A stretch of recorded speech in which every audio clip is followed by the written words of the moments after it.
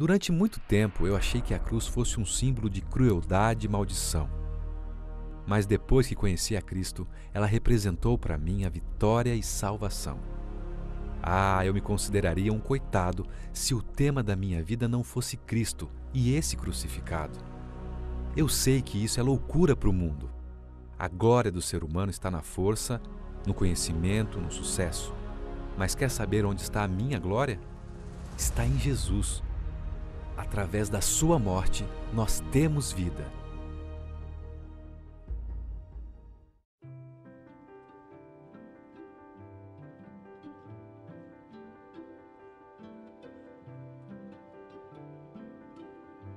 Na carta aos Romanos, capítulo 6, verso 23, o apóstolo Paulo diz assim: Porque o salário do pecado é a morte, mas o dom gratuito de Deus é a vida eterna em Cristo Jesus, nosso Senhor. Veja, o salário do pecado é a morte. A recompensa do pecado, o pagamento pelo pecado. Poderia dizer ainda o resultado final do pecado. E você me diria o que é o pecado? Pecado é desobediência. Pecado, segundo a Bíblia, é transgressão da lei de Deus. O pecado é um desvio do alvo, ou desvio de Deus, desvio da vontade de Deus, desvio dos caminhos de Deus. Resultado do pecado, da separação de Deus, é a morte. A morte é o inevitável resultado do pecado. No princípio, no Gênesis, quando o Senhor criou nossos primeiros pais, Adão e Eva, e os colocou no jardim do Éden, o Senhor lhes orientou, o Senhor lhes disse que se eles obedecessem, viveriam, mas se desobedecessem, eles morreriam. Porque o Senhor sabia que com a desobediência o próprio homem se afastaria dele. E é claro que nós fomos criados para a vida, nós fomos criados para a imortalidade, para a eternidade. Mas obviamente que essa nossa imortalidade seria completamente dependente de nossa ligação com Deus, porque só o Senhor é a fonte da vida. Eu posso lhe dizer ainda que no Éden, o Senhor apresentou aos nossos primeiros pais o que podemos chamar de princípio da retribuição. Se pecar, morre. Se obedecer, vive. A triste notícia é que nossos primeiros pais pecaram, nossos primeiros pais desobedeceram, e nós, seus descendentes, também temos pecado, por isso eles e nós, todos os seres humanos, merecemos a morte. Mas eu tenho uma boa notícia para você. Esta é uma grande e maravilhosa notícia. No céu, antes mesmo da fundação do mundo, foi estabelecido um plano para salvar o homem caso este pecasse. Foi por isso que nosso Senhor Jesus Cristo desceu essa terra ele deixou suas glórias e desceu a esse vale de pecado e de morte, com o propósito de salvar a você e a mim. O apóstolo Paulo diz que, vindo à plenitude do tempo, Deus enviou seu filho nascido de mulher. Jesus tornou-se verdadeiramente homem. Ele nunca deixou de ser Deus, mas revestiu-se da natureza humana. Jesus esteve sujeito aos mesmos sofrimentos, e as mesmas dificuldades pelas quais nós todos passamos. Jesus também está escrito, foi tentado em todas as coisas, a nossa semelhança, mas sem pecado. Jesus viveu em plena harmonia com a vontade do Senhor. Jesus viveu em obediência completa. O inimigo, o acusador, ele nunca pôde apontar o dedo para Cristo e identificar em Cristo algum erro, alguma desobediência, algum pecado. Oh, bendito Cristo! Apesar de todo o assédio do mal, ele não cedeu à tentação. E olha aqui um detalhe importantíssimo. No princípio da retribuição, não dizia que não poderia haver uma troca. Foi isso que aconteceu na cruz.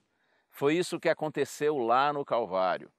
Nosso Senhor Jesus Cristo estava recebendo nosso pagamento, nosso merecimento, nosso salário, o castigo da morte e, consequentemente, passando para nós o seu prêmio, o seu direito, a sua conquista, a vida. Você compreende? Em Cristo nós somos absolvidos. Quando nós aceitamos pela fé o Senhor Jesus Cristo, então, segundo a palavra de Deus, nós saímos da morte para a vida. Veja no verso que li há pouco. Romanos 6, verso 23. O verso completo é assim: porque o salário do pecado é a morte, mas o dom gratuito de Deus é a vida eterna em Cristo Jesus, nosso Senhor. O dom gratuito quer dizer o presente de Deus é a vida eterna em Cristo Jesus. No entendimento do apóstolo Paulo, e isto é a revelação de toda a Bíblia.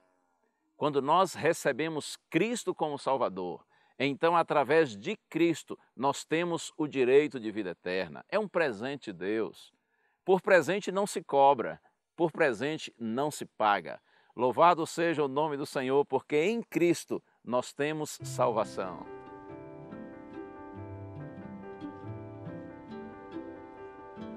Agora leio carta de Paulo aos Efésios, capítulo 2, versos 8 e 9. Ouça como são lindas e esclarecedoras essas palavras. Está escrito assim: Porque pela graça sois salvos, mediante a fé.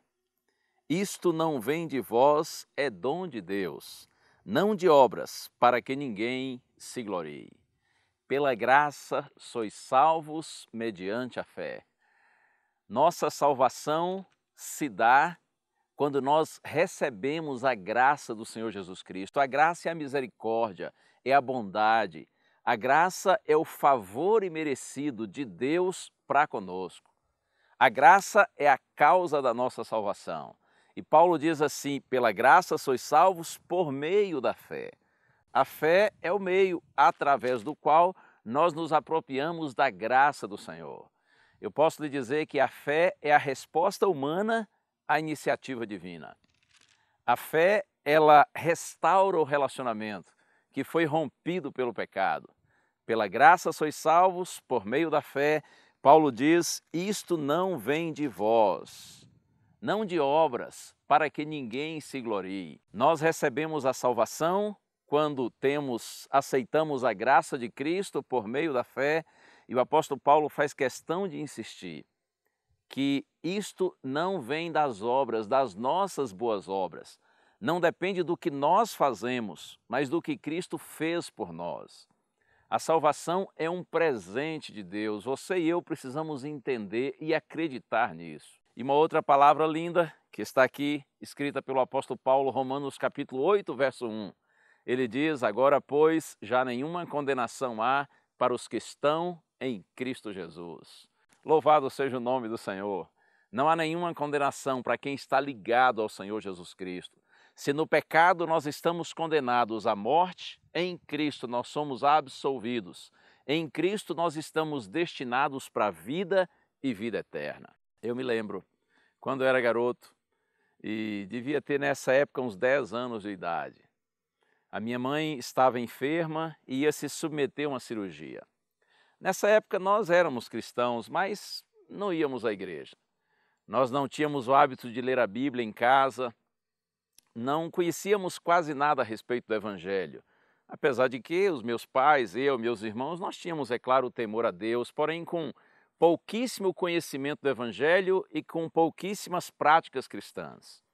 Mas a minha mãe, nesse período, ela começou a frequentar uma igreja evangélica, convidada por uma vizinha. E foi exatamente nessa época que ela foi se submeter à cirurgia. Então eu me lembro como hoje, um dia, quando meu pai levou a mim e os meus quatro irmãos ao hospital para visitarmos a nossa mãe antes da cirurgia. E chegamos ao hospital, ficamos todos em torno da cama, do leito onde ela estava ali deitada, e a minha mãe disse assim: Eu já orei e pedi a Deus que se alguma coisa acontecer comigo, quando ela disse se alguma coisa acontecer comigo, você já entendeu, né? Ela estava querendo dizer assim: olha, se acontecer de eu morrer, eu já orei e já pedi a Deus para que se alguma coisa acontecer comigo, que Ele guie todos os meus filhos no caminho do Calvário. Nunca mais me esqueci dessas lindas palavras da minha mãezinha. É claro que eu não entendi bem, porque eu não tinha direito noção do que era o Calvário, mas o Espírito Santo me deu a compreensão de que ela falava de alguma coisa boa, de algum propósito de Deus para abençoar a minha vida e dos meus irmãos. O tempo passou, a cirurgia foi um sucesso e minha mãe retornou para casa. Poucos meses depois, nós conhecemos a Igreja Adventista do Sétimo Dia e, ainda garoto, eu entendi o sentido do Calvário. E eu louvo a Deus porque muitos anos já se passaram e hoje eu sou um homem completamente marcado pelo Calvário, um homem marcado pela cruz do nosso Senhor Jesus Cristo. Hoje eu entendo que através de Cristo, em Cristo, você e eu nós temos salvação. Agora olha aqui um ponto muito importante. Jesus não quer que você olhe para a cruz, que você olhe para o Calvário e sinta dó dele, sinta pena dele. Jesus quer que ao olhar para o Calvário você entenda que Ele está ali com seus braços abertos, chamando você para um relacionamento com Ele. O que o Senhor quer é que Sua morte na cruz seja efetiva para a nossa salvação. Quando nós aceitamos Cristo pela fé, nós aceitamos Cristo como Salvador pessoal, então nós recebemos Sua maravilhosa graça. E é essa graça de Cristo que nos dá o direito à salvação, à vida eterna. Eu imploro a você, em nome de Jesus, receba nosso Senhor e Salvador como Senhor e Salvador seu, da sua vida. E acredite, ele fica feliz com a sua decisão, com sua atitude e um dia, pela graça do Senhor, quando Cristo se manifestar em glória para buscar a sua igreja, nós estaremos lá, porque nós cremos, nós o recebemos como Salvador pessoal e andamos nos seus maravilhosos caminhos. Deus abençoe sua vida.